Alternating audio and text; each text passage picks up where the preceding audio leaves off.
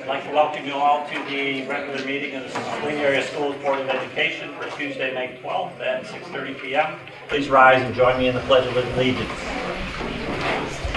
Pledge allegiance to the flag of the United States of America and to the republic for which it stands, one nation, under God, indivisible, with liberty and justice for all.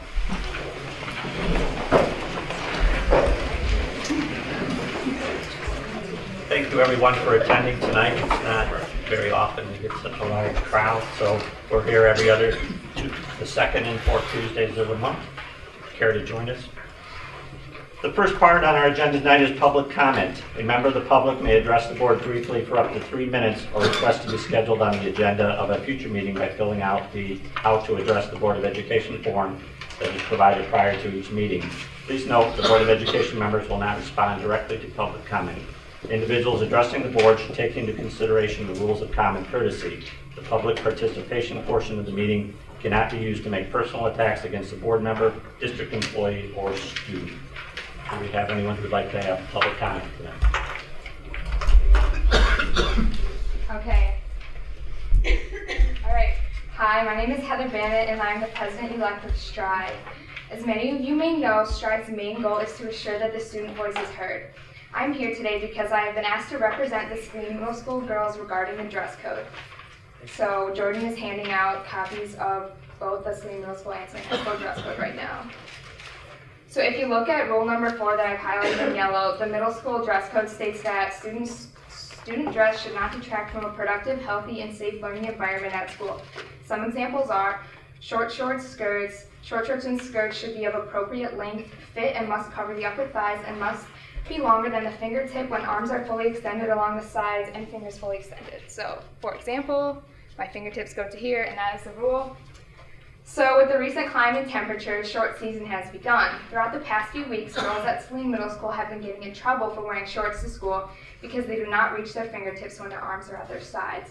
I understand that rules are rules, and if your shorts are not long enough, you must change out of them. However, many problems have arose due to this rule in the dress code.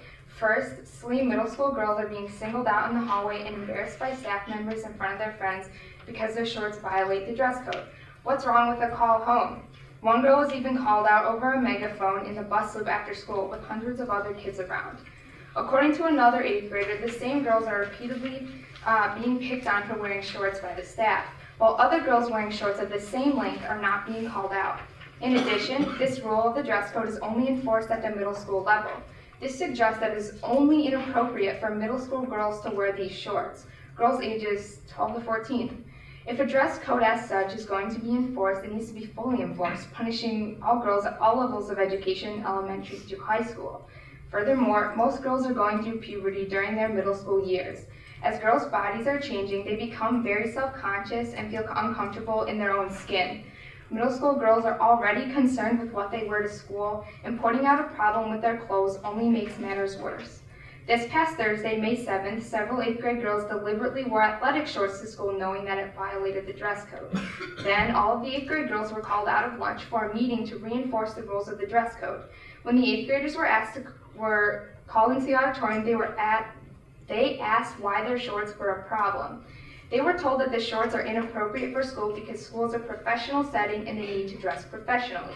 However, these are 12 to 14 year old girls attending a public school, not a professional job. They are hardly attempting to show up to school in nothing but undergarments. They want to wear shorts. With this, I would like to propose a change to the middle school dress code. Uh, I propose that the fingertip length rule be omitted and this portion of the dress code um, can match that of Saline High School. Thank you for your time and consideration. Okay, hi, my name is Erin Haley, and I'm the newly elected vice president of Stride. Hunter, could you come up here? So, these are the shorts that the girls got in trouble for wearing. Shorts, especially these, do not disrupt the productive, healthy, and safe learning environment that the dress code intends to protect. I am a junior in high school myself, and I wear wearing shorts to school, and this does not detract from anyone's education in the slightest. My peers treat me with respect, and I respect myself. I can still be treated as a mature and professional young adult while wearing shorts, and I am. This specific dress code is not enforced at the high school, and we still have a healthy learning environment. This policy is especially discriminatory against girls because girls are forced to search several different stores to find such long shorts. To find shorts of such length, girls are forced to go to like buy shorts online even because they're not in style, so parents have to spend even more money.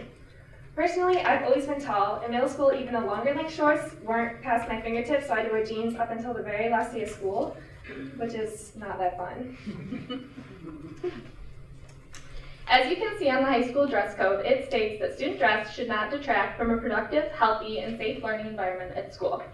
Some examples are, but not limited to, short shorts. This already broad rule rarely needs to be reinforced at the high school because it isn't a problem. The current dress code implies that girls are responsible enough to make the right choices when dressing themselves for school, and which they are. The high school does not single girls out, does not chase girls down the hallway trying to condemn them, and does not disrupt our lunch to have a talk with us about our wardrobe. To make ourselves clear, this is not a movement against authority or the administration. We understand the need for a dress code and are in no means trying to remove one altogether. However, it is humiliating to walk through the hallways as a young girl, already uncomfortable in your own skin, only to- get pulled aside and chastised for wearing shorts when the weather is above 80 degrees. It is humiliating to have to be pulled out of the lunchroom along with every other girl to be lectured, while all the boys look on, hooting and hollering and continuing to eat their lunches. It is humiliating to be forced to make an appearance on the Saline Middle School announcements as a punishment for wearing running shorts to school. We need to stop humiliating our young girls in a safe environment. Thank you. Thank you, ladies.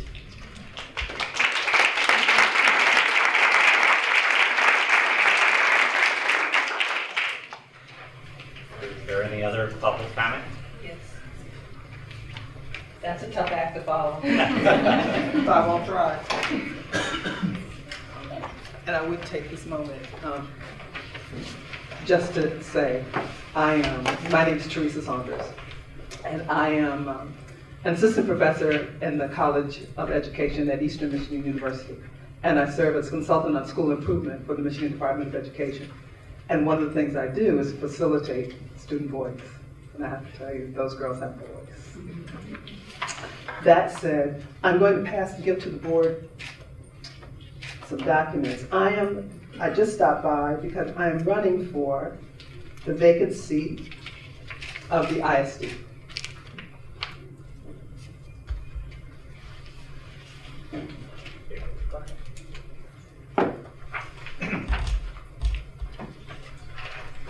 I just wanted you to know that and put a name with a face. Um, Specifically, the ISD, as you know, doesn't deal necessarily directly with local, local school districts, but we do have some issues in common, and one of those being social justice, which you just heard a magnificent conversation regarding. Um, And so there's several other things we anticipate that the ISD will be doing over the next three to five years as budgets become tighter and accountability and responsibility goes up. So um, you have my documentation in front of you. If you have any questions, please, please feel free to call me. Um, I'd love to have a conversation with you about anything regarding education. Thank you. Thank What, you. what district do you reside in? Ypsilanti. Ypsilanti? Okay, thank you.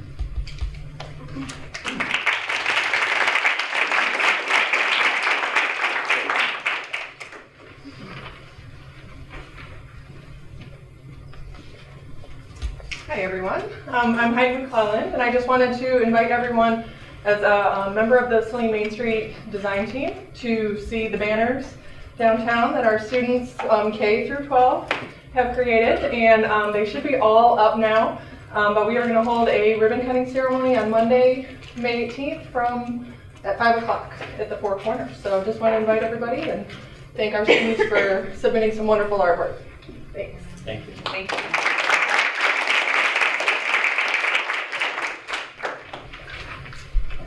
Any other public comments?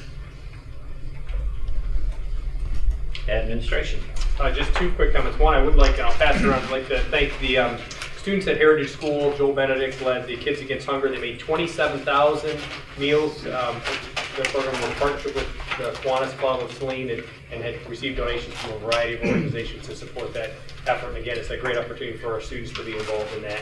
And then, um, as much as I'm not a real big fan of uh, rankings, um, we did see our, our ranking relative to our high school from U.S. News and World Report today. And again, I just like to, you know, that, that building and, and the district is a culmination of a lot of, of hands and effort on the part of our students, our parents, and our staff. And so again, um, while I don't always trust rankings, I certainly is a positive for thinking indicative of the time, energy, and effort that goes into educating our students.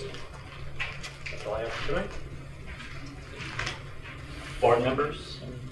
Um, yeah, we had a foundation meeting this morning and, um, they are busy beavers planning lots of things for next year. Um, just to give you some highlights, um, fall kickoff will be October sixth, an evening event this year.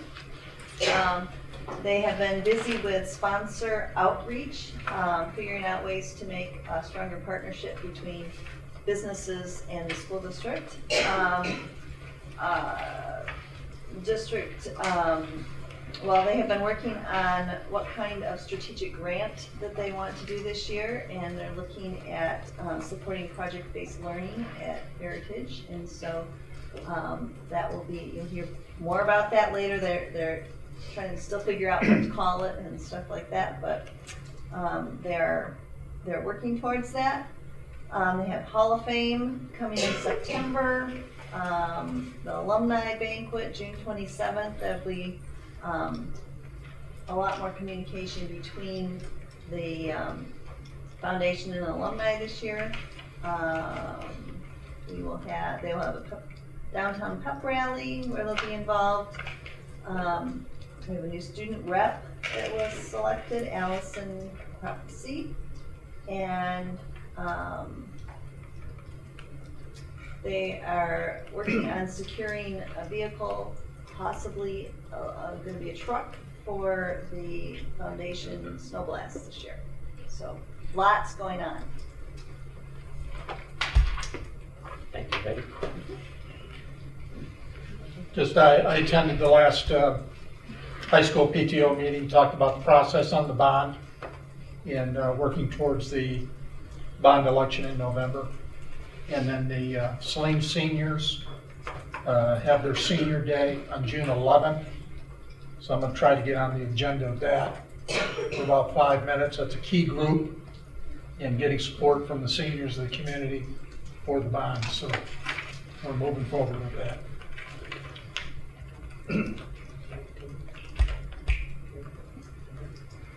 Um, I, um, had a, we went on a busload trip down to uh, Plymouth, Indiana on Friday to visit a school district that does problem-based learning, uh, on a, on a large scale. Uh, it was very interesting, it was very good to see our school employees, after we would visit each building, start having very good conversations about what we already do and what tips they could get, um, so it was exciting. Um, Last night was the highest honors of distinction event at the high school where they honor the top five percent of the senior class. It was nice to see that. And we're coming into the end of our budget season, and I think the citizens of the great state of Michigan spoke last week that they're unhappy with their legislatures and how they passed the road stuff and other associated stuff down to the electric, so I think that was kind of telling. So it will be interesting to see, since we have to have a balanced budget by the end of June, what they will come up with in the next month or so. So we're somewhat looking forward to that, somewhat not looking forward to that, so. Can I have a recommended motion to approve the agenda as printed? So moved. Second. All those in favor, please signify by saying aye. Aye. Those opposed? Hearing none, motion carries. Scheduled reports. Our student representative is not here yet, so we will skip to B, the Exemplary Education Endeavors Award from the Ann Arbor Ypsi Chamber of Commerce. All right, I'd like to welcome Donna from the, uh, who's the chairperson of the EE, or the E3 committee, so. Thank you. Hi, everybody. Uh, this is my first time at the Saline Board meeting. I, somebody else gets to come to these um, presentations, so I'm very, very pleased to be here and meet you all and stand before you representing the uh, Ann Arbor Ypsilanti uh, Chamber. Uh, my name is Donna DeButz, and I worked for the Ypsilanti District Library for 17 and a half years, but have been retired and um, have been, one of my volunteer activities has been working on the E3 award, which stands for Exemplary Educational Endeavors. Um, the chamber, the Ypsilanti Chamber actually established a goal of recognizing educational excellence in Ypsilanti area public schools in 1997. That's when the award was first conceived. It didn't exist before that and, and has been going on ever since. Uh, when Ypsilanti and Ann Arbor chambers merged then, uh, they decided to continue the E3 as part of this combined chamber effort. And uh, so we have been happy to include Ann Arbor schools as one of the um, um, basic groups that are in the, the area. But we've also gone to recognizing out-county um, school districts if they submit a nomination and it meets the criteria.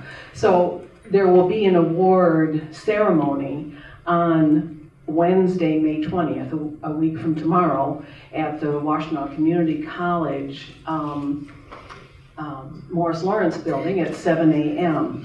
The award recipients will be recognized at that event. They will receive a lovely little trophy and a cash award. The cash award is possible because of Janowick Funeral Homes in Ypsilanti as well as the uh, A2Y Chambers Foundation. So when we first were giving out the awards, there was the trophy. That's what you got. But uh, over the last few years, Sandy Janowick at Janowick Funeral Homes has really felt, and you know certainly we have seen with the schools, um, that there's a crying need for teachers to have more funds per, to perhaps do those things that go out, out and beyond. So, anyway, we are real pleased to say tonight I am here to talk about the Out County Award because somebody you guys know um, is the award recipient this year.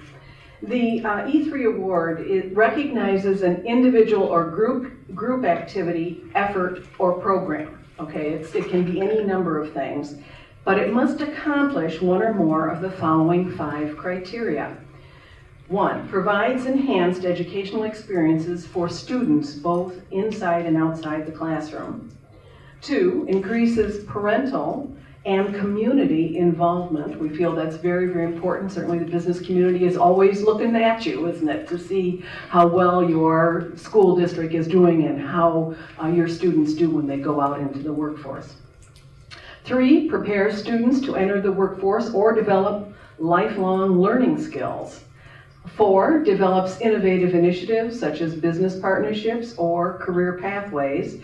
And five, continues to improve the quality of area public schools.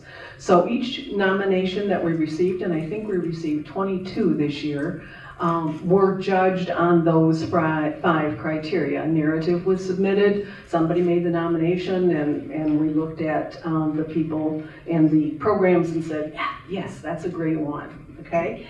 Uh, so like I say, it's the 17th year for the presentation of the awards, and um, we will be getting together next week to do the big fun stuff. But as the time has developed, we think, why not come to the school board and say, here are the programs that your was nominated from your school district. Here is the award that um, somebody can receive, because you may not all be at the breakfast next week. You may not know um, how widely thought of and how well he held in estimation uh, some of the programs are that um, we see nominated. So that's why I'm here tonight, to tell you just a little bit about that. One of the benefits of honoring outstanding educational endeavors in our communities is the opportunity to share ideas about each district's exemplary programs and people. In that spirit, I'm here The award recipients will be recognized next week. They'll get a chance to talk. They'll have um, displays set up. So if you come to the breakfast, I don't know if you are normally early edition um, visitors, but if you come, you will see all the award recipients for this year, their display and what it is that their programs are doing. And maybe there'll be a little cross pollination. You never know how, how that might turn out. So that's the preamble. Um, so the real thing that you want to know is who is it that I'm going to signal out from the audience tonight to come up. Well, we're very pleased that uh, this year we have selected Adam Rodriguez from the Visual Imaging and Advanced Photography um, program through the South and West Washtenaw Consortium. That was the, the program that we thought really deserved the most recognition this particular year. Now, next year, you might think of somebody else that might be uh, a good nomination. Two years ago, I think we recognized Tim Timosek, Timosek? Automotive Technology for the award. So uh, anyway, I would like to have Adam come up for a moment just to say hi and uh, I'll tell you a little bit about the, the program. Um, he is lauded in the nomination as a teacher who goes up and beyond to help his students have real life experiences with photography and graphics. He has helped his students learn communication skills, discipline, how to meet deadlines, and completion of tasks to a customer's expectations. Each year, students from his program have managed to place in the top 10 in the National Skills USA competition.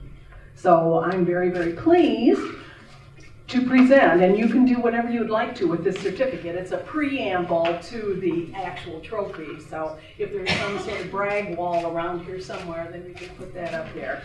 So.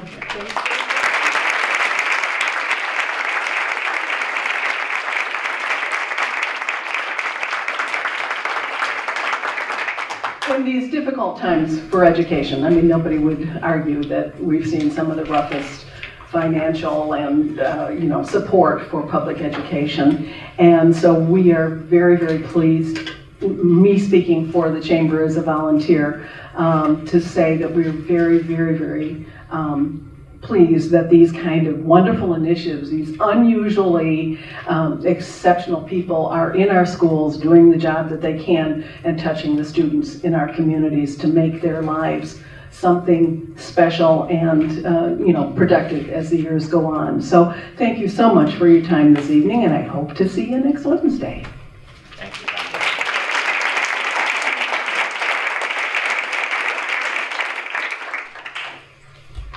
Our next scheduled report is class size. Janet Park,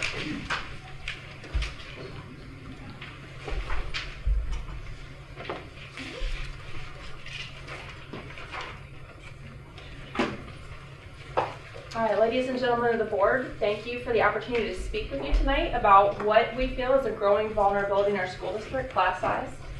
I would also like to thank uh, Superintendent Slash and Graden for your support as we've researched this issue. Uh, you've provided a lot of great information about our school district and uh, we really appreciate how receptive uh, and all the guidance you provided.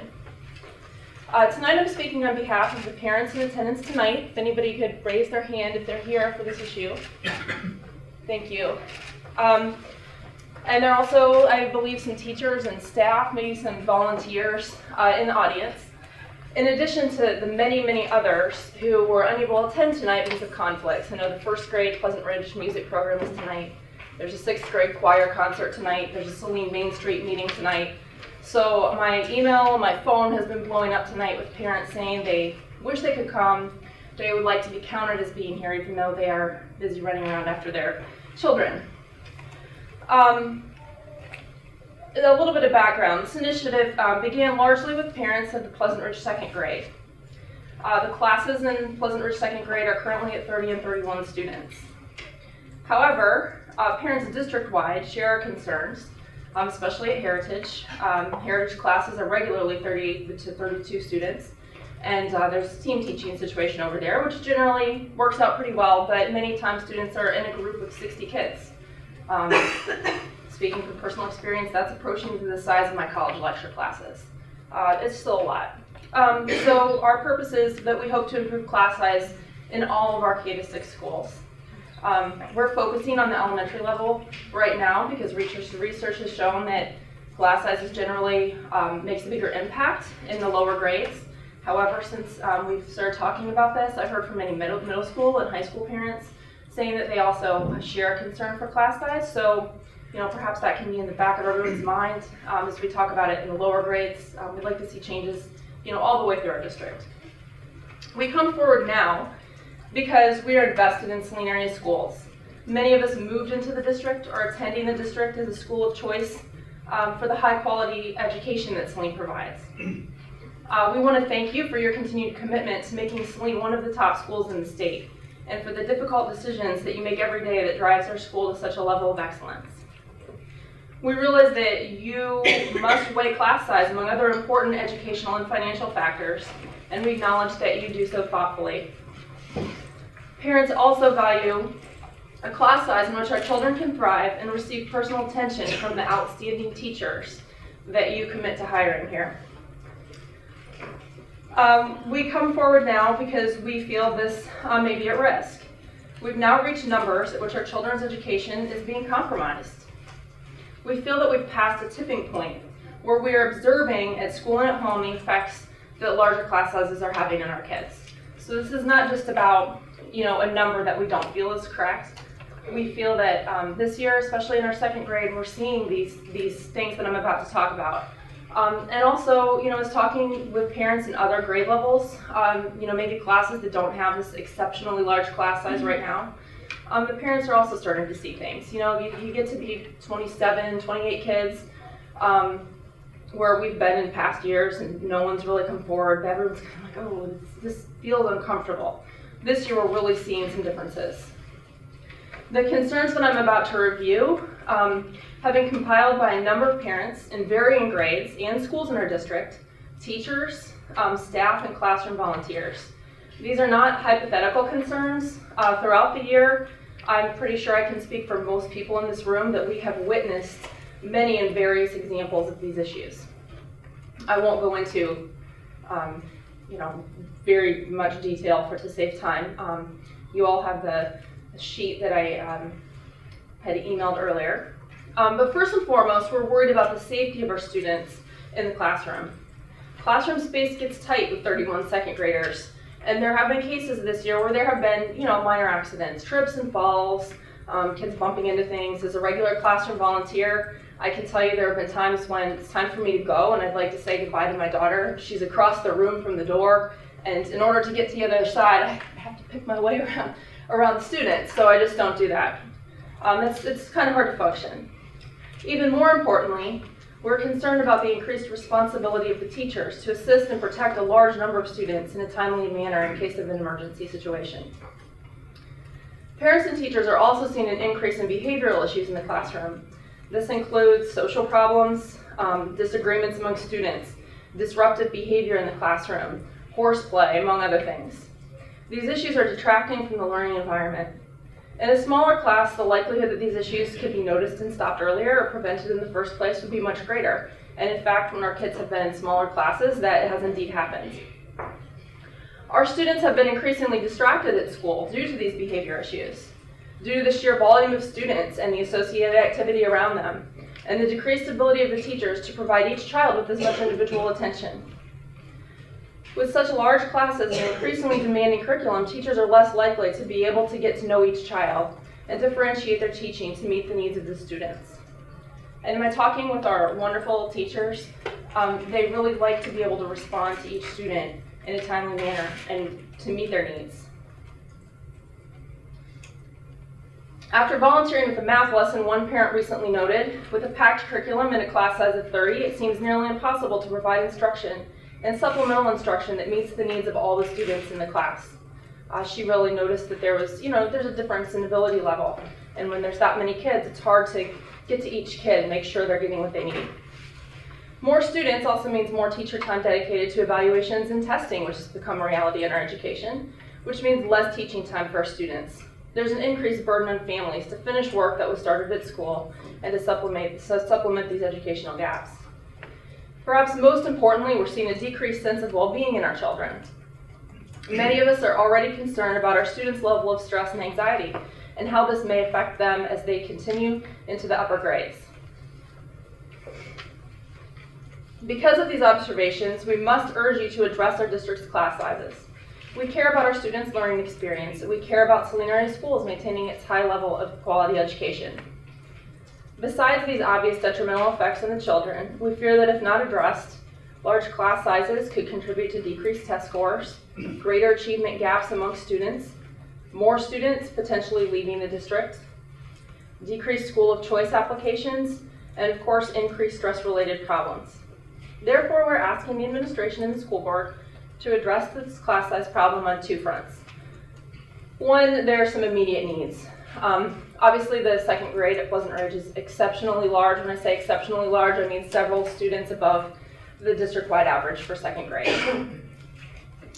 Um, a few years ago, there was a similar above-average situation at Woodland Meadows. I believe that was three years ago in the third grade. Um, because of these situations, we feel there's a need to provide an extra teacher for any class which looks to be exceptionally large or larger than the average class size district, class size district-wide. We know that enrollment fluctuates until the school year begins. Um, you don't have final enrollment numbers till last minute. and of course, students move in and out of the district somewhat during the school year. This year, you know, we've had a few students come in and that's pushed our class up very high. However, in coming years, we hope to err on the lower end of class size. So if it looks like we're going to be potentially at that tipping point, we ask you to err on the side of caution. And that staffing decisions can also be made early enough so there's time to prepare for the upcoming school year. You know, instead of scrambling at the last minute. I know, you know, that's that's a challenge, um, but we hope that that that can occur. So that's the immediate needs that will hopefully uh, remedy our situation at Pleasant Ridge for the upcoming year and also prevent another situation like this happening in another class at Pleasant Ridge or Harvest or Woodland Meadows or Heritage or anywhere. Also, um, there's some long-term needs. Um, you know, our second grade is exceptionally large, but the class size has been creeping up over the past five years, and we um, don't want to see that continue. So we'd like to see longer-term sustained reduction of overall class size in the grades K through six to a more ideal level. Um, you know, it's difficult to talk about class size numbers. It's, you know, depending on finances, we understand. Uh, when I talk about ideal level, I, I believe I'm speaking for the parents that I've heard from that a more ideal level is much lower. Um, there are very real challenges in creating such a policy. Uh, that's going to require more study and a careful balance of all educational factors. So we're asking that a plan or task force be implemented uh, to prioritize class size and we'd like to, you know, have some routine progress reports to parents of, on, on the progress on reaching those goals. Um, I know I didn't talk a lot about research. What I wanted to focus on tonight was what parents are seeing in our district in the classroom. You know, there have been many, many research studies. I know that you've looked at them. I've talked to the superintendents about um, those research studies. There has been a fairly recent research study. I'm just going to do a handout. I'm not going to go too much into it. Um, it's kind of a study of the research studies, and some of you may have seen it. Um, but it, it corroborates a lot of what I'm saying. I'm just going to pass. You just pass the box around. Thank you very much. So, you know, look that over at your leisure. Um, it has some very interesting information um, and things that is just talking about how class size is, is important. I wanted to thank you for your time, your receptiveness to hearing how the class size is affecting the Saline students. Um, in addition to this urgent call to action, our Saline families have expressed a willingness to participate and help to find solutions to what is a complicated issue. Uh, we hope that you will keep us apprised as you make your decisions regarding the next school year in the future, and uh, we will do whatever we can um, to help and support you in your decisions. Thanks so much for your time.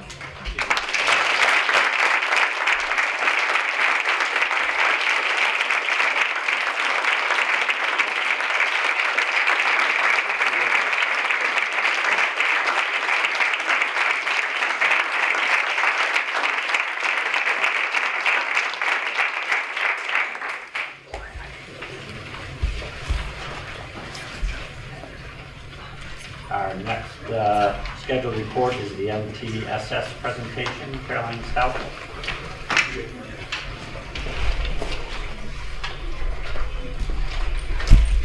Okay, set up as Carolyn comes over here. Steve, I don't know if you want to give a, Mr. Lodge, if you want to give a quick overview of MTSS. Sure. So um, MTSS stands for Multi-Tiered Systems of Support. Used to be known in our district as RTI, for Response to Intervention, but it's it's recognized that it's taking on a, a much bigger um, it's a bigger entity in our district now. It includes not only is it looking at academic support, it's looking at behavioral support, and uh, Caroline coordinates that through the entire district. There are also building coordinators at the K through 3 buildings, as we have primarily targeted the K through 3 levels based on our research of trying to intervene at a very early level. But now, um, Caroline and her team has expanded it into Heritage Middle School and the high school. So now the um, effects are, are reaching a, a, greater population of students as well, and we're excited about that. And so her uh, report, uh, progress report tonight will showcase uh, what they've been up to um, in MTSS. Ladies and gentlemen. Thank you, Steve, for pretty much doing half my presentation for me. I really appreciate it. I have not much left to say. my name is Caroline Stout, and I'm really excited um, to present to you guys this evening um, because we do have some really nice updates. And like Steve said, there's a lot of lingo, so my hope tonight is to both give an update um, to showcase some of the great work that our students and our staff and our uh, teachers and administrators have been doing over the last five years, and also hopefully um, give you some of the cool intervention lingo that is being used today. So, um, like Steve said, the, the language has changed a little bit over the past few years. We started off um, using the term response to intervention, which refers to a multi-tiered system of support used to support students with academic difficulties, uh, reading, writing, or math. And um, the term PBIS Positive behavioral interventions and supports is the equivalent for behavior and social emotional needs. Um, so this umbrella uh, acronym of MTSS, multi-tiered system of support, is the application of this framework to both academics and behavior. So um, we spoke a little bit about how this looks at the high school a few months ago, back when it was cold for real. Um, and so the basic idea is that you start with really high quality differentiated instruction for all, whether it's a core curriculum for academics or um, your behavior expectations for your school for behavior. Um, but we know at any point in time that students are going to need, some students are going to need a little bit more. So about 5 to 15% of the population is going to need a little bit of extra intervention in tier 2, and less than 5% of the students, hopefully, will need more intensive intervention in tier three. That tends to be more individualized, uh, very small group, and more time. Here we're talking three to five days a week, maybe 20 to 30 minutes, and, and in tier three it's more five days a week, 30 minutes. Um, the model is based on the use of student data to drive instruction and to drive the movement between tiers. The hope is always to get students back to the point where they need no further intervention other than tier one. Um, and obviously it involves a great deal of collaboration among all staff in general and special education. So this is a quick overview of some of the things that have happened over the past five years around this use of this model to support students. Um, so for academics, we started back in 2010 using this model with tiers one through three for reading, K1. Um, in 2011, 2012, we add expanded to second grade, and then the year after that to third grade. Um, this year, we started a small pilot um, with two reading tutors mid-year uh, working in tier three reading intervention with a handful of students. Um, and we are planning for uh, how this might look next year at the middle school. Um, to give students support regardless of whether or not they qualify for special education. That's really a big benefit here. Um, with regards to the behavioral and social emotional supports, um, for many years now, you probably walked around the elementary schools and seen things like the Woodland 3Bs or the Arbus 4 or the Pleasant Ridge High 5. Those are all those behavior expectations that were established as part of Tier 1. But what's exciting was that last year we started collecting some behavior data that um, had for focus to uh, drive problem solving and, and determine who might need extra support. Um, that was called SWIS, School-Wide Information System. Unlike discipline data, this has really looked uh, trying to look at trends in student um, behavior and needs. So looking at are there times of day that students struggle? Are there particular um, days of the week that are difficult? Uh, and trying to identify the function of behavior so that we can do something about it. Um, so that is what's going on in K3 with regards to behavior, and then Saline Middle School and Heritage have been on a similar path. They've established their behavior expectations around being respectful, responsible, and kind and necessary. And now they're working on collecting some of that data to then um, add some supports into your two, tier three to help students um, with social and emotional needs. I, I think, you I'll jump in and interject here. I, so when, when you see those types of things that are in our buildings and how we branded those buildings, I want people to understand and the board to understand, those are more than just, hey, these are, are kind of catchphrases that we've established.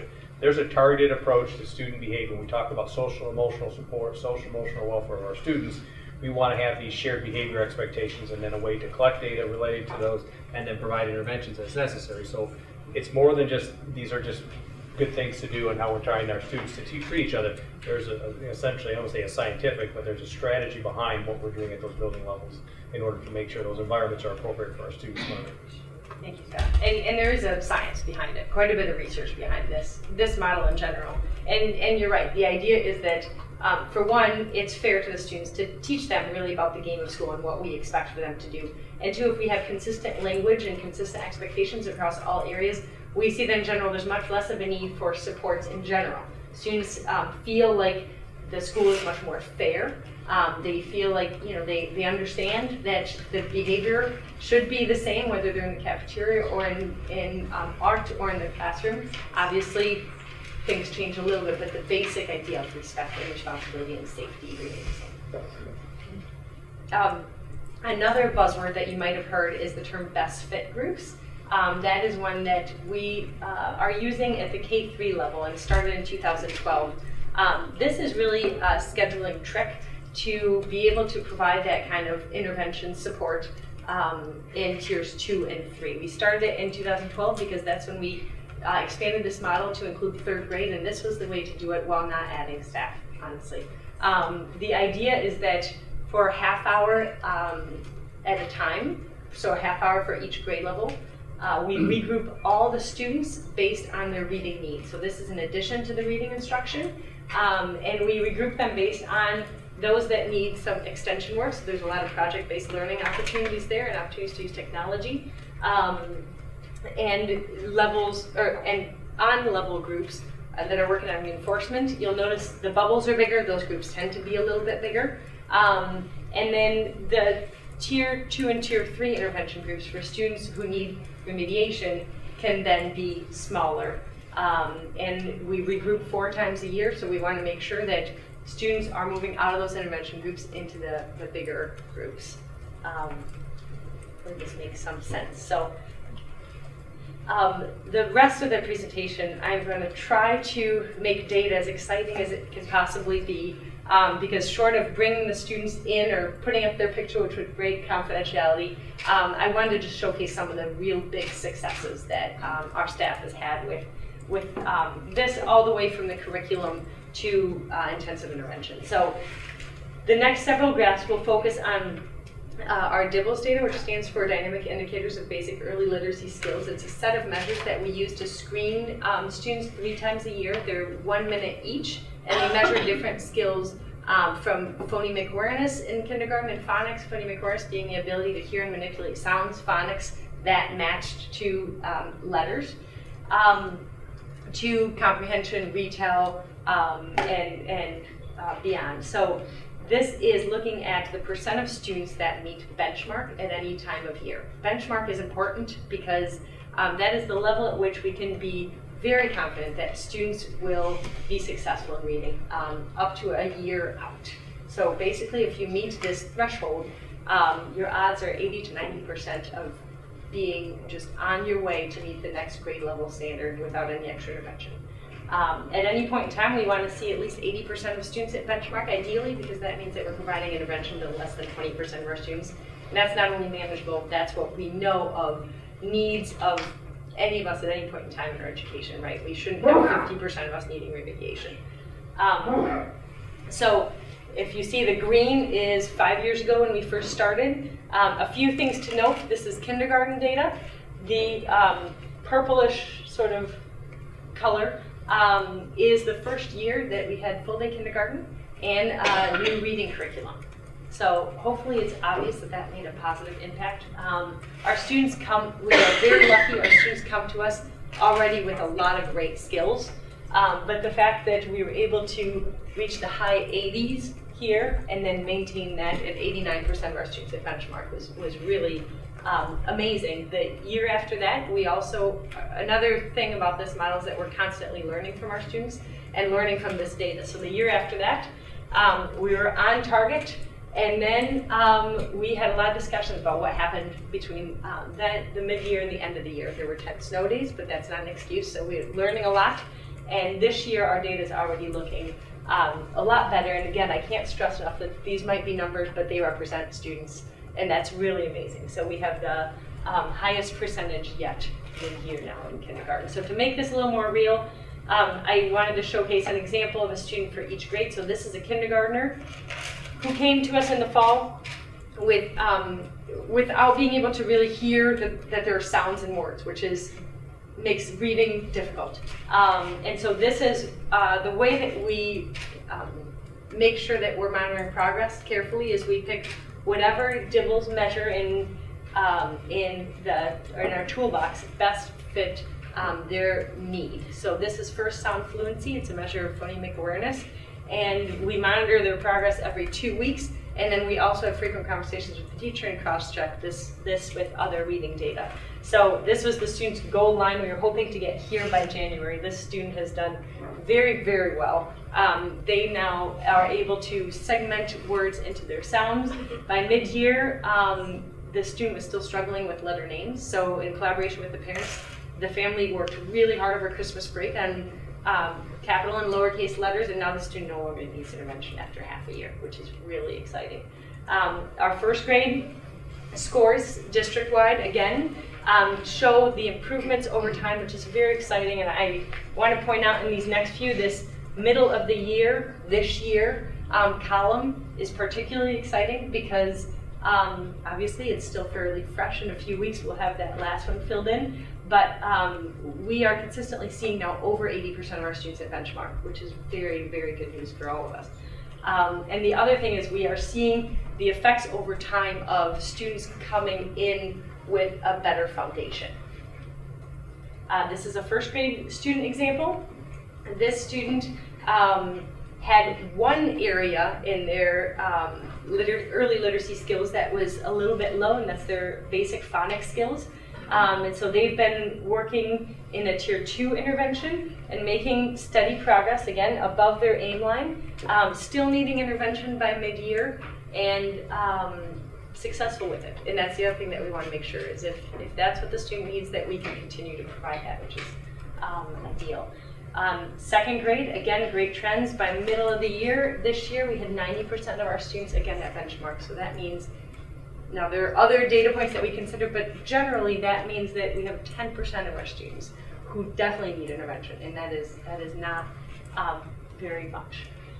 Um, so an example of a second grader um, and success story here as well. So this is a particularly interesting student because um, they were with us in kindergarten and then moved to Germany for first grade and came back and had and pretty much missed first grade instruction in, in reading English. And so um, came into second grade really needing some first grade skills. So with this model, we were able to provide that for them um, for Rose and uh, focus first on some basic skills for awareness and phonics and now sort of graduate to um, higher level skills like fluency and comprehension. These are the progress um, graphs for fluency and comprehension. Again, she continues to need the help, but is benefiting from it, and that's really what we want to see. Um, third grade, again, we're continuing to see, you know, the trend of students coming in higher than they were before with the support in the earlier grades.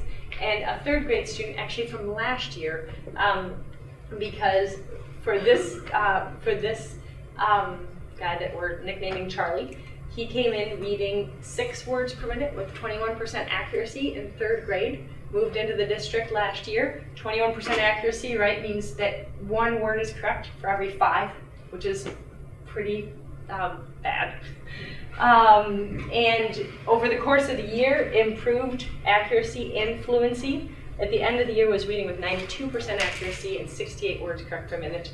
Um, although that is still considered at risk, below that red cut line, you can see that for Charlie, that made a big difference.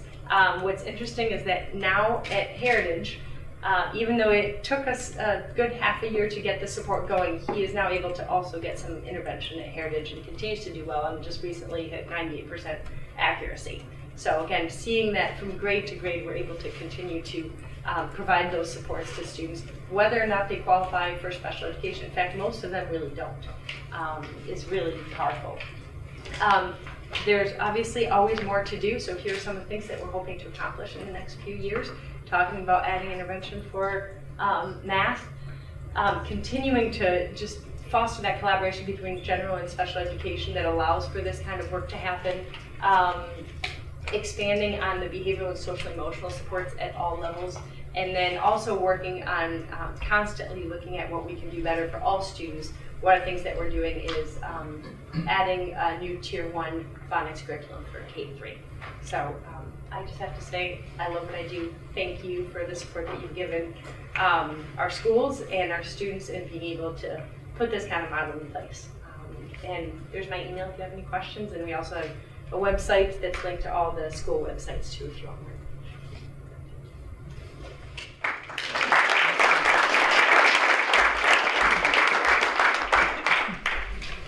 Thank you.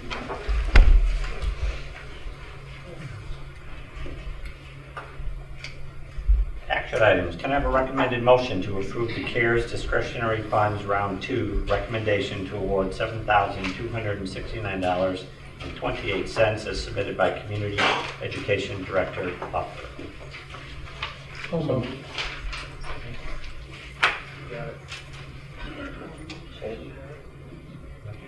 All those in favor, please signify by saying aye.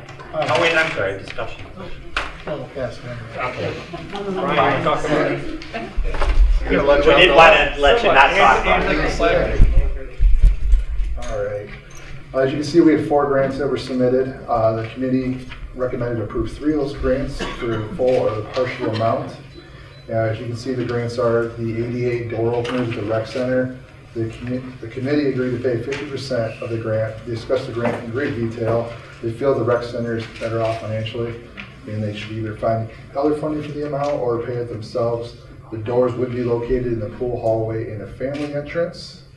Then the committee also agreed to fully fund the grant to purchase nine square air game, which I was talking to Shannon Gray, trying to figure out how to explain this to you, so I think I need to class You want to take a look at that? It's basically, uh, total kind of like four square, but nine square. I don't know, typically know the rules, but it's very, you can break it down. Uh, PE classes use it quite a bit. I guess some of ours may or may not have it, but the rec center would be willing to, uh, share the PE, use it at community events and whatnot, but it sounds like it's a new and upcoming game, so it's called nine square. Uh, air, I believe is what it's called. Um, they fully uh, agreed to uh, fund that one. They feel it's a new initiative for facilities, which is the ADA door handles, which they only did um, 50%. And the third one they recommended for was the life skills recumbent bike for the Saline High School Life Skills Program. I believe they received uh, funding for a bike probably about five years ago. We use it quite a bit, and so they fully they uh, agreed to um, fully recommend to fund that grant. Questions? What, uh, what percentage of the CARES funds goes to the rec center? For a year or? Yeah, just historically, I mean, I'm hitting you cold, but. I'd you know. say, I guess historically, I'd say thirty, I mean, thirty percent probably, Okay. I would say. I mean, that's guessing, but since two thousand one. I almost got, I think I'm off from No, I that. think that's probably about right. Obviously, once the the renovation con- component that was a part of a multi-year grant award, if you factor that out, it's much smaller, but that obviously was a significant chunk during Okay. that period of time. This is our last round for this year. Correct, yep. Would the board be allowed to do nine squares their next event? I think so, yeah. probably, The purchases are picking up, that's right. It's like a good bonding experience. Anything else? All those in favor, please signify by saying aye. Aye. Those opposed? Hearing none, motion carries.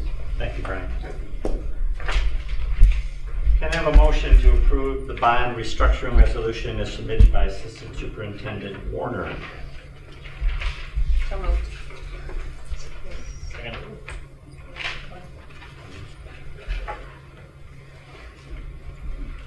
Superintendent, Great. Um, I'll take it to, uh, In 2012, we had to refinance our 2002 bonds, and at that time, we went with floating rate notes um, for a term of three years, and that term expires on November 1st, 2015. Um, We'll either need to set a new rate on the bonds, replace the current structure, or refinance the bonds.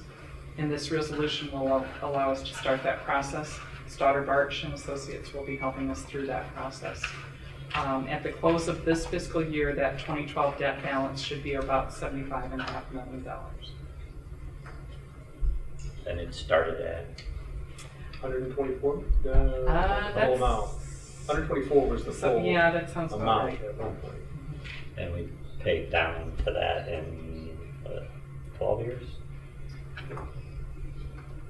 Mm. Well, that I don't was know what what built that- the high school and stuff, right? That Right, the I built project. the high school, but that we, would've been- we, it's gonna get into the fact that we, we're front-loaded withdrawing from the school bond loan fund and Right, and being right. involved in this, so. It's not an easy answer, it's my, my first year. The whole bonds thing, okay. So we're looking to find a, a better, well, a good A rate. Comparable, Comparable yeah, rate. hopefully a little better.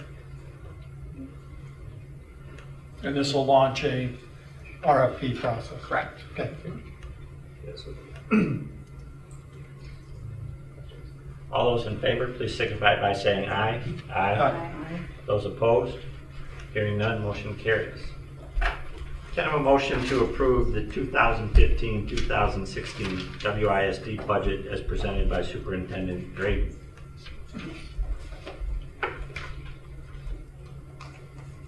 So moved. Heidi? Okay. Superintendent? I'm gonna, I, we have two distinguished guests with us tonight, uh, Superintendent ISD Scott Menzel and uh, Brian Marcel, who's official from the WISD. Um, we have a printed, um, copies in your packet of the, uh, of their report, essentially the budget review. And again, tonight, we're, we're essentially approving the general ed budget, however, there's gonna be a conversation relative to the special education budget. So thank you for the opportunity to talk for just a few minutes, and it's always fun to watch what's going on uh, in a local school district. And so we appreciate the opportunity to come out and talk here, the first district that we get to discuss uh, outside of the WASB uh, format where we bring in every district to go over our, our budget details. I'm going to let Brian do most of the talking, but I did want to tell you that when Scott sent the email request and I said, you know, do you want the full budget presentation? He said, no, we want the shortened version. He said, you know, just highlight a couple of things, including FB trends. So I was going to share our Facebook trends with you, but then I realized that he really wanted to talk about fund balance. So Brian's going to walk through those details, and, and we'll be happy to answer any questions. And believe it or not, that is the shortened version that Scott made a copy of. Um, and thanks for making the copies. And the distinguished guest comment, I hadn't- heard that one before. so We don't get that often, so.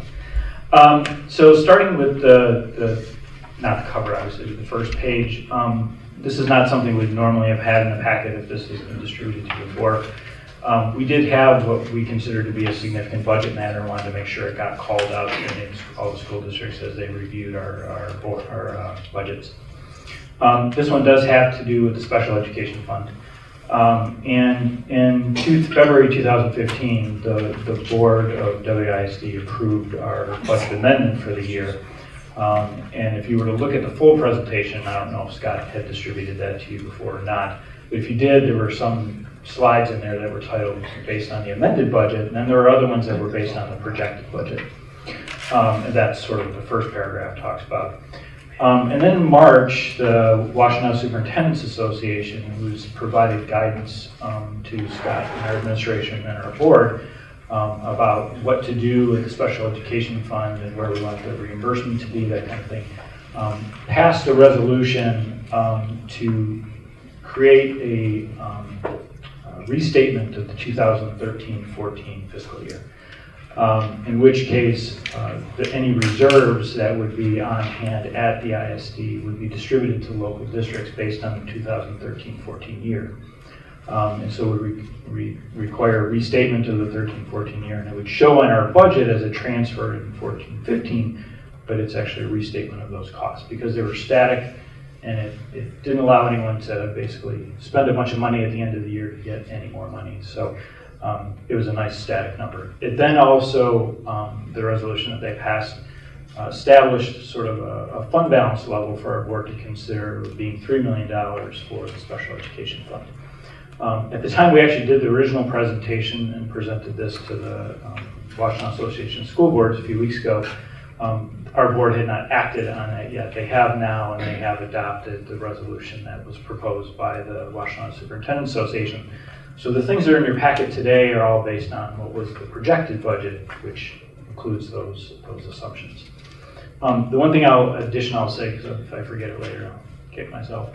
Um, part of the, the point of making that transition of, of basically taking the special education fund balance um, and transferring it to the local school districts was it gets the dollars that, that were um, there for the ISD to help manage various um, cost differences that happened at the local school district level um, to temper the reimbursement that we give out, um, to actually transfer that reserve to the local district level. And so if there are variations that happen in your costs, you can manage them at the local level as opposed to having it being handled at the ISD. So for us, it didn't really matter which way, you know, whether the money was held at the ISD or whether it was held at the local districts. We just want to make sure local districts understand that while you get this additional reimbursement this year, um, that it really is not, um, that this trend is going to continue going into the future, um, and that it was really intended to uh, basically take you through the next few years um, to temper the drop that's going to happen. So, so for example, for the, for the portion that would be considered Saline dollars, when you restate thirteen fourteen, our special ed funds, it's a little over a million dollars that would come to Saline in a, in a one-time payment towards the end of the current fiscal year. So it, it essentially will, will help us in the short term from, on, on paper, but I think what we're talking about is developing a strategy associated with those dollars related to rate stabilization. If you recall, the, the reimbursement rate from the ISD um, through Act 18 has gone up and down relative to the economy because again, those dollars are generated locally based on local property taxes and don't go through Lansing. In doing so, um, what we need to consider is a portion of those dollars to maybe restate what we intend to have as our reimbursement rate internally. Again, moving it from previously controlled by the ISD through uh, recommendations from the WSA to, to Saline. So I think at the budget committee level, we need to really think about what that looks like. Um, Now, in the short term, it will allow us, and our phone balance good, but again, I just want to reiterate, this is a one-time kind of reimbursement. It will not be something that continues um, into the future. And there's some graphs uh, further in that will show sort of what's happened with that reimbursement percentage. So, um, The next page is sort of a big picture view of our um, general education and special education budgets. As Scott mentioned, um, you're actually acting on the general education budget, which is the bottom bars, but you can see the relative size of the special education budget, which is why we also present that um, to the local districts. And you can see for 15, 16, um, based on that previous slide, we're projecting that the ending fund balance will be 2.98 million, which was within the $3 million level that was established. And everything that will be coming in through property taxes and grants will actually be spent next year. That's the top part. On the general education side, um, you'll see that our revenue for the year is uh, estimated to be about 17.7 million, and we're spending about 18.4, which means we'll be spending about $700,000 of our general ed fund balance next year. Um, At the end of 15, 16, um, we're estimating that to be about $1.2 million that will be left um, in the general education fund. As a percentage um, of expenditures, um, if you were to look at the overall general education fund, it's about a 7% fund balance. Um, However, when you look and take what we call our regular budget, which is sort of the non-grant services that we have, our grants in this fund account for about $15 million of the revenue. I'm sorry, $14 million of the revenue that we get. So if you exclude that and look at that 1.2 million, it's about 29% of what our fund balance is in the general education fund. Um, we realize it's on it's on the downward trend, and that's going to need to be acted on. Um, and that will be part of our summer work that we're working on as an administrative team along with our board. Um, The next slide is a pie chart that uh, sort of gives an overall view of the WISD expenditures. It's a combination of the general ed fund and the special education fund together. Um, The bars, I don't, don't know if you have colors or not, but the one on the left-hand side, I'm going to talk about the three large slices. The one, large one on the left-hand side, the funds transferred to local districts is about 38.5%. That's actually checks that are written to each of the, of the individual school districts. The earmarked grants and programs, the bottom right there is about 31% of our overall budget. Um, that is grants such as the um, Individuals with Disabilities Act, um, the GSRP grant, all the grants that are basically operated mainly as programs by local districts, and then we reimburse you for many of those, those dollars. Um, so those are actually a lot of dollars that are transferred to you too for part to the subsidy of the operations. And then the next biggest piece is the one right above that, which is the direct special education services. Um, and though that's the cost of the special education programs for the students that are sent to the ISD um, for the programming that's held there. So if you add those three bar, there's three pieces together, where it's about 91% of our overall budget is either direct dollars that are transferred to you um, or direct student services that are provided to the students that come to our programs. Um, the next graph sort of gives you a picture of the overall general special education fund. I just wanted to give you this just so you knew sort of where the money came from. Um, and as Scott mentioned, is very property tax based. Um, almost the entire local bar there um, is property tax revenue. Um, we get reimbursed for state revenue just like you do, the same 28.6% of your special education expenditures. Um, the $10 million in federal grants is the IDA grant, which we transfer most of that out to you. Um, the next graph is our uh, sort of graph of the outgoing transfer, which for us is the dollars that we're transferring out to the local school districts. Um, you can see the bump in the 2015 bar. That is the includes that restatement of the 13-14 year. Um, so it, it, increased the bar if you somewhere between seven and eight million dollars. So if you look at that, that's what their uh, the emphasis is on this slide. And the next slide, um, this is one where it gets a little complicated if you're not used to looking at these kinds of graphs, but it puts two things on the same piece. The, uh, the ability of us to pay out uh, the reimbursement is directly tied to how much money is coming in on property taxes. So we put them both on the same graph. Um, the bar part of the graph is the property tax revenue, and that scale is over on the right-hand side. So it's 48 million, 50 million, 52 million, and that deals with the bars. The reimbursement percentage is the amount of um, added, what's called added costs, the dollars you're spending after you get your state reimbursement. Um, and that's that percentage that Scott had mentioned earlier, um, and that scale is on the left-hand side. So as you can see, the, the property tax revenue was increasing from 2005-6 to 2008, 9, 9, 10. And then as that went down, our fund balance started to decrease, and so that's when the reimbursement percentage had to start to decrease. Um, and that was managed, as I mentioned before, through consultation with the Washtenaw Superintendent's Association. Um, and then, of course, you see the spike, which is the restatement of the 13-14 year. Um, and then, of course, the, this year we're at a 70% reimbursement for 14-15. And then for 15-16, um, the sort of the, the picture changes. It won't really be like we're going to spotlight a percentage and say that's how much we're going to reimburse. There's actually going to be a, a pool of dollars that's available to be sent out to all the local school districts. Um, and what, at least what we're currently talking about, I think the Superintendent Association are going to consider this, is actually basing the reimbursement that's going to happen on two years ago's information on the 13-14 year. Nothing related to the restatement of 13-14. The reason being is that if you have a pool of dollars and District A gets 10% of that, and District B gets 5% of that, and then there's all the other districts, um, because of the amount of money they spend. If that District A decides they need to spend more money, and so their in expenditures increase, and the pool is static, that district's now going to get more money. And so if we base it on current year expenditures, which is what we've been doing in the past, just because District A spent more money means District B is now going to get less. And of course, they weren't planning on getting less, they were planning on getting what they were thinking they were getting in the first place.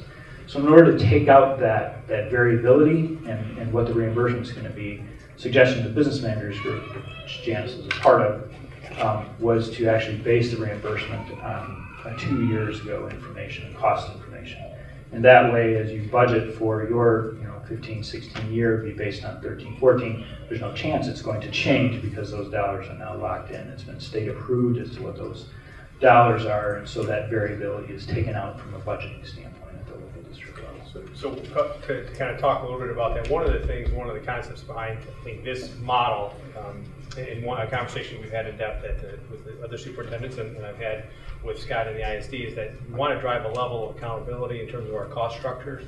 Um, and to the extent that, that it's a district level issue or an ISD issue, when it comes to how we're spending our resources, it's important that it not be masked somehow by this fluctuation in, in, in terms of how we handle, how we draw down on fund balance. I think it's important that, um, given where we're at, given the, the importance of these dollars, how do we manage them at the local level? And ultimately, this, this issue of shared accountability. One district spends, or an ISD starts to spend uh, more than, their- than a certain percentage, then it impacts us directly. And, and we have a two-year window now to address that, but ultimately, we want to make sure there's a level of account, shared accountability to how these dollars are spent.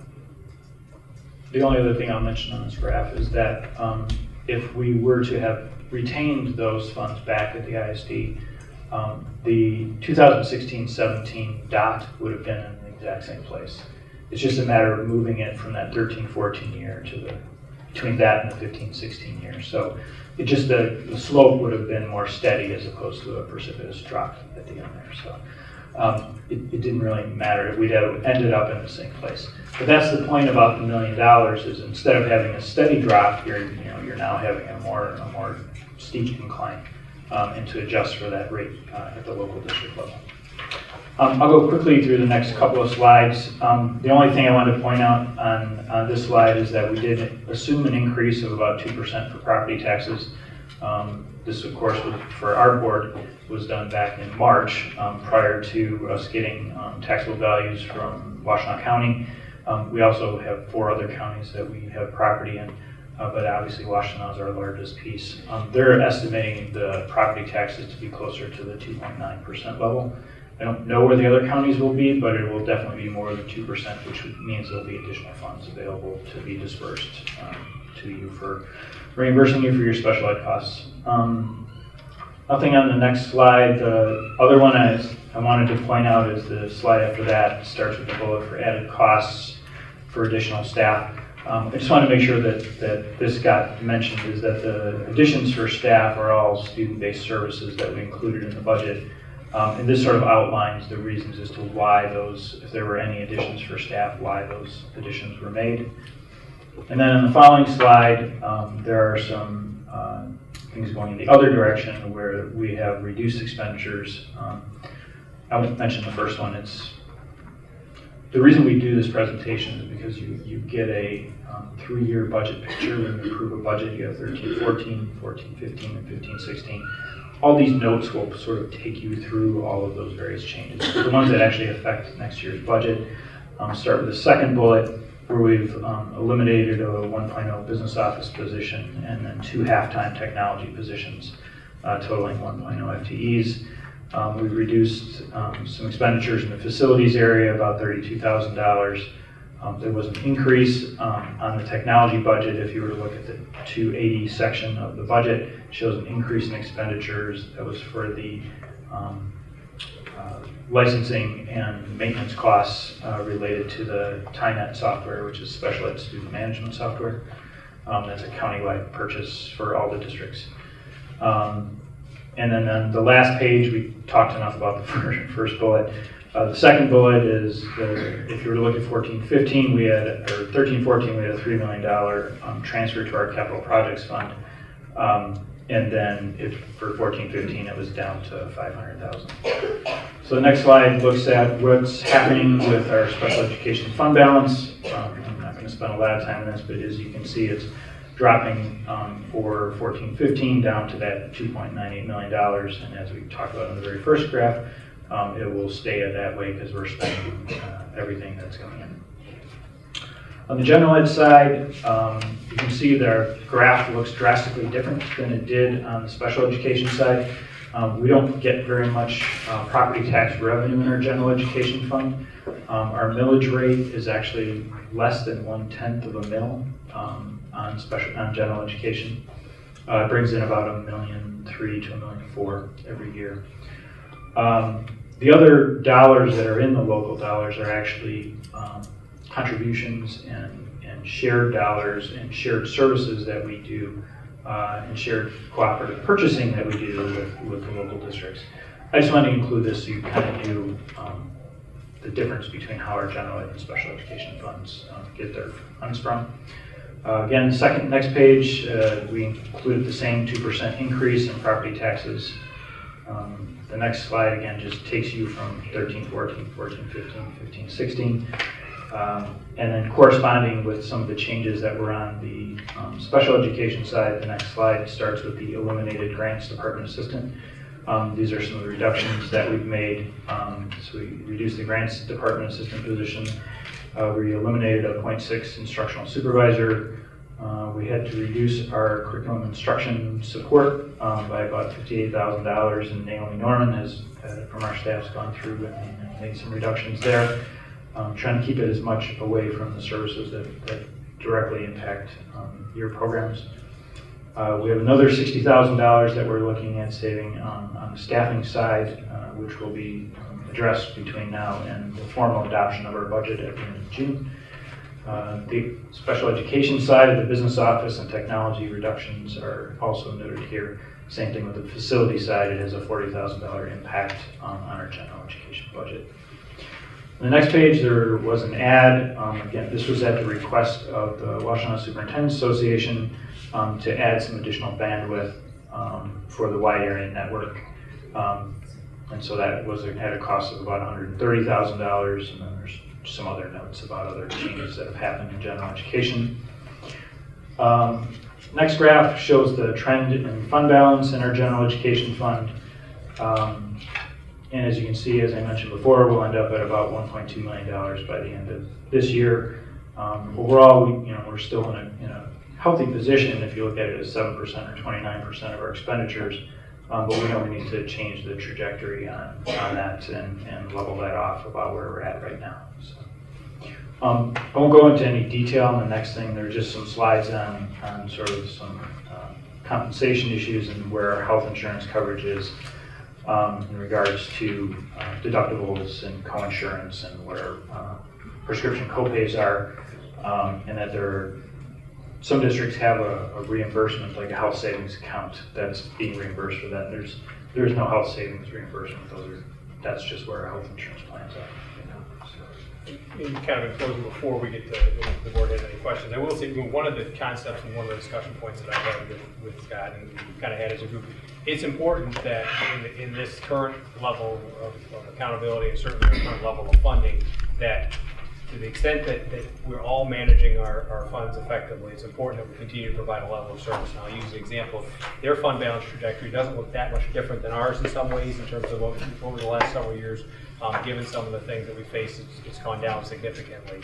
Um, just as the parents who are here about our class size still continue to have high expectations of the level of service as we manage our funds, the idea that we're simply going to um, cut services related to managing our budget isn't a, isn't a- really a reality. We need to make sure we're figuring out ways within our own operations to maximize those services that are provided, in this case to the locals, while managing our finances. So the conversation has been really around how do you go about doing that, how do you go best about doing that, and the difficult choices that we really want to see make sure Street ISD is making, because it, it, it is something where those dollars need to come and support the students to the extent possible.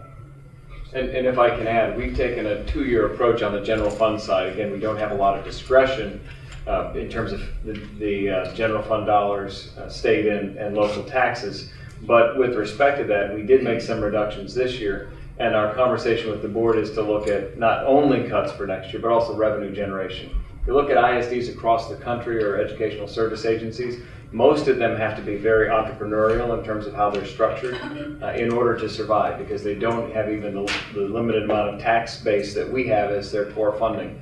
And so over the course of the next year, that's part of our work as an administrative team is to figure out what are those other revenue generating opportunities so that we can maintain and enhance service to the local districts.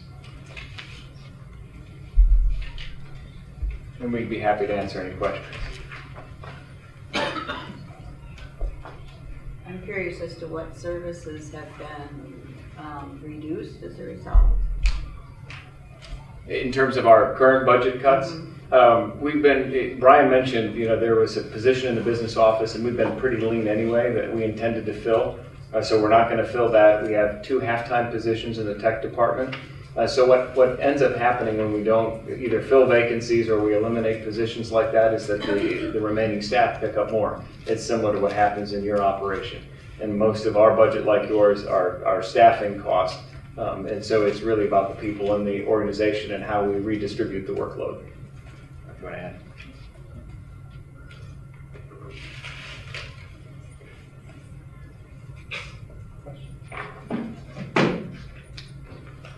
All those in favor, please signify by saying aye. Aye. Those opposed, hearing none, the motion carries. Thank you. Thank you, appreciate it. Discussion items, the WISD biennial election. Um, this is a, well, no, it's a discussion. Yeah, This comes to the board tonight, and then we'll be back on the agenda on the 26th for action. Um, again, as noted, this is the biennial election, and, uh, we did have the candidate here tonight, uh, the lone candidate, correct, Scott? Yes, that is correct.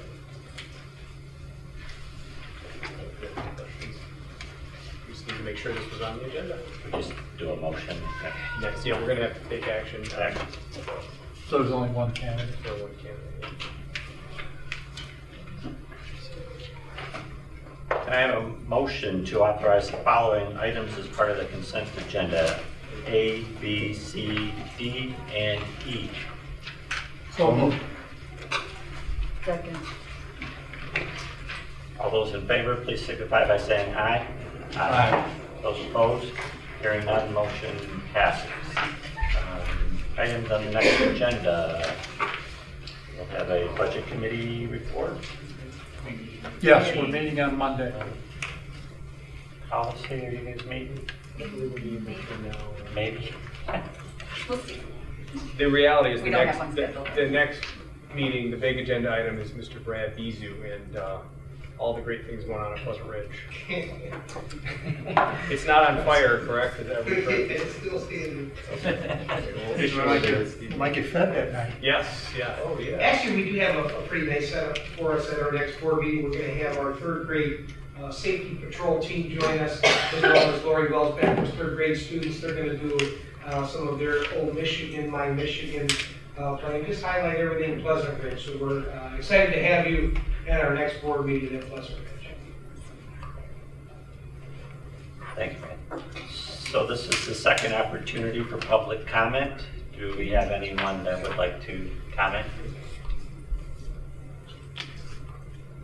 Okay, our next meeting will be Tuesday, May 26th at 6:30 PM at Pleasant Ridge Media Center, hosted by Mr. Brad Izu and his staff. We will now have a closed session. Um, At the end of the closed session, there will be no action taken by the board. Can I have a recommended motion to enter closed session of the Board of Education at 8 PM with the intent to re-enter open session at 8:30 PM for the purpose of attorney-client privilege? This is a roll call vote. Trustee Bettis? Yes. Trustee Breeze? Yes. Vice President Holden? Yes. President Heineck is a yes. Secretary Delhay? Yes.